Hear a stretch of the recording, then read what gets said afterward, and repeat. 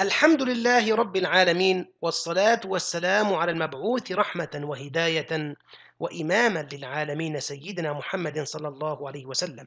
ثم أما بعد. مستمعي الكرام وقفنا فيما سبق على بعض الأمور التي بها يتحقق الإيمان بالأنبياء والمرسلين. والآن نواصل الحديث مؤكدين على الأدلة الدالة على ذلك. إن إثبات نبوة الأنبياء والمرسلين بأدلة ومن هذه الأدلة وأعظمها المعجزات. بل إن شئت فقل عزيزي الطالب إن المعجزات هي أهم الأدلة على أن الأنبياء جميعا قد اصطفاهم الله تبارك وتعالى واجتباهم واختصهم من بين سائر البشر لتعليم الناس وتبصيرهم أمور دينهم ودنياهم. فالنبوة اصطفاء من الله والنبوة تفضل من الله ومحمد صلى الله عليه وسلم هو الرسول المصطفى والنبي المجتبى. الأدلة على رسالة الأنبياء جميعا وعلى رسالة محمد صلى الله عليه وسلم كثيرة متعددة. كما قلنا في مقدمتها المعجزات. ما المقصود بالمعجزة؟ وهل هناك فرق بينها وبين غيرها من سائر الأشياء؟ نعم. المعجزة هي الدليل اليقيني على النبوة الصادقة. ولكن قبل أن نقول عن المعجزة شيئا نقول إنها أمر خارق للعادة. يظهره الله على يد مدعي النبوة تصديقا له في رسالته. ومن هنا نستطيع القول أعزائي الطلاب والمستمعين على حد سواء نستطيع أن نقول إن المعجزة دليل يقيني. من الله تبارك وتعالى يقيمه على صدق نبوة الأنبياء والمرسلين. وهي طريق من طرق إثبات الصانع سبحانه. ومعرفة صدق الرسول والله تعالى أيد رسله بمعجزات تجري على أيديهم. من هذه المعجزات قلب العصا حية وضرب البحر بالعصا كما حدث مع موسى عليه السلام وغيره من الآيات لموسى لغير هذه الآيات حدثت مع موسى عليه السلام. أيضا إبراء الأكمة والأبرص وإحياء الموتى هذه كلها حدثت مع عيسى عليه السلام.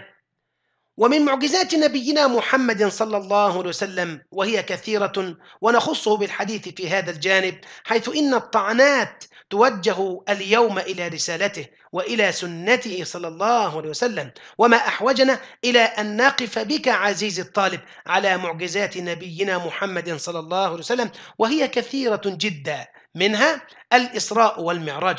والإسراء هو السرى أو الإسراء أي الحركة من بيت الله الحرام في مكة إلى بيت المقدس في القدس الشريف والمعراج من هناك إلى السماوات العلى. وكذلك من بين تلك المعجزات تسبيح الحصى في كفه صلى الله عليه وسلم ونبع الماء بين أصابعه صلى الله عليه وسلم وحنين الجزع إليه عندما كان النبي يخطب على جزع النخل ثم صنع له أصحابه رضوان الله عليهم أجمعين. منبرا من خشب فلما ترك النبي الجزع وجلس على هذا المنبر الخشبي حن الجزع وبكى فنزل إليه النبي صلى الله عليه وسلم واحتضنه فانتهى بكاؤه فرحا برسول الله. كذلك من المعجزات انشقاق القمر بين يديه. ولقد أكد ذلك القرآن الكريم اقتربت الساعة وانشق القمر وإن يروا آية يعرضوا ويقولوا سحر مستمر. وكذبوا وكذبوا واتبعوا أهواءهم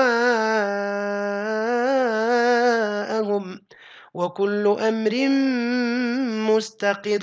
الله تبارك وتعالى قد أكد على هذه المعجزة وأنها حقيقة وقد شهد لها العرب الصادقون عندما كان وحدثت فأخبروا أهل مكة كما هو مبثور في كتب التفسير. كذلك من معجزات نبينا محمد صلى الله عليه وسلم وأعظمها القرآن الكريم. القرآن الكريم هو المعجزة الخالدة التي تحدى الله بها الجن والإنس. قل لئن اجتمعت الإنس والجن على أن يأتوا على أن يأتوا بمثل هذا القرآن. لا يأتون بمثله ولو كان بعضهم لبعض ظهيرا. الله تبارك وتعالى أشار إلى هذه الحقيقة وإلى هذه المعجزة. بل إن شئت فقل عزيز طالب إن هذه المعجزة هي معجزة خالدة على مر الزمن وستبقى إلى قيام الساعة. كذلك القرآن الكريم معجزة من وجوه متعددة. ما هو وجه إعجاز القرآن؟ القرآن معجز في لفظه معجز في إخباره بالمغيبات معجز في كونه يشتمل على الأمور والأحداث التي وقعت وتقع. ما زال يقع وأن القرآن معجز بأنه كذلك مشتمل على الأمور الغيبية التي لم يطلع عليها نبي مقرب ولا ملك مقرب ولا نبي مرسل. والإعجاز هنا في التعبير القرآني حيث بلاغة النبي صلى الله عليه وسلم وبلاغة العرب جاء القرآن ليكون معجزا للعرب البلغاء والفصحاء. وقد اشتمل القرآن على جنس ما نطق به العرب في مفتتح السور 29 سورة نزلت في القرآن الكريم وكلها مفتتحة بكما بما كان العرب ينطق بمثيله كاف ها يا عين صاد. قاف صاد كثير من آيات القرآن دلت على أن القرآن من جنس ما نطق به العرب وكأن ربنا تبارك وتعالى يقول يا معشر العرب هذا القرآن من جنس ما تنطقون به. أيا هيا أيا طالعا جبلا. إن كان القرآن وقد اشتمل على هذا الإعجاز البلاغي فإن كانت لديكم القدرة على أن تأتوا بمثله فافعلوا.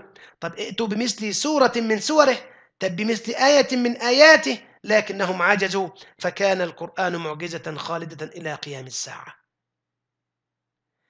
أما عن أحوال الأنبياء فإن أحوال الأنبياء والمرسلين هي كذلك من أعظم الأدلة على إثبات صدقهم في النبوة والرسالة. تدل أحوال الأنبياء والمرسلين على أنهم على الصدق وأنهم قد أرسلوا من لدن الحكيم الخبير. فمن عرف صدق الأنبياء والمرسلين ووفاءهم ومطابقة قولهم لفعلهم علم يقينا أنهم ليسوا بشعراء ولا كهانا ولا كذابين بل هم صادقون فيما أنبأوا به عن الله تبارك وتعالى.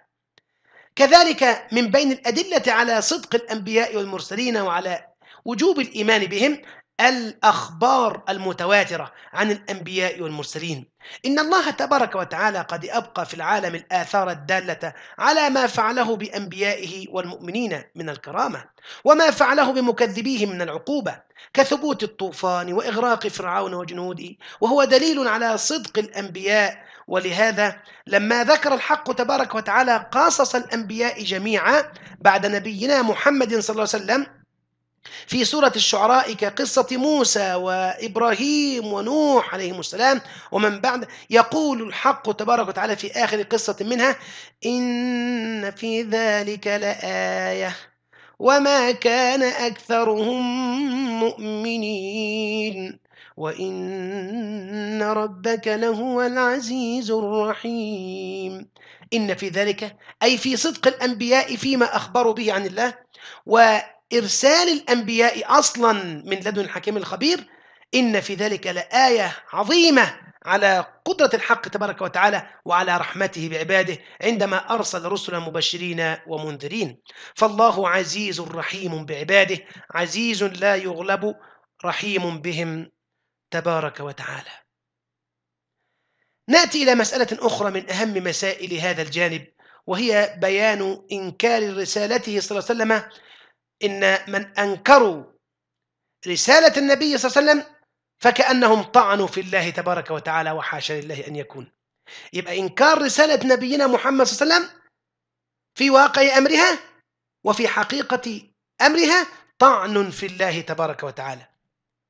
إن إنكار النبي صلى الله عليه وسلم ورسالته طعن في الله ونسبة له إلى الظلم والسفة حاشا لله أن يكون كذلك.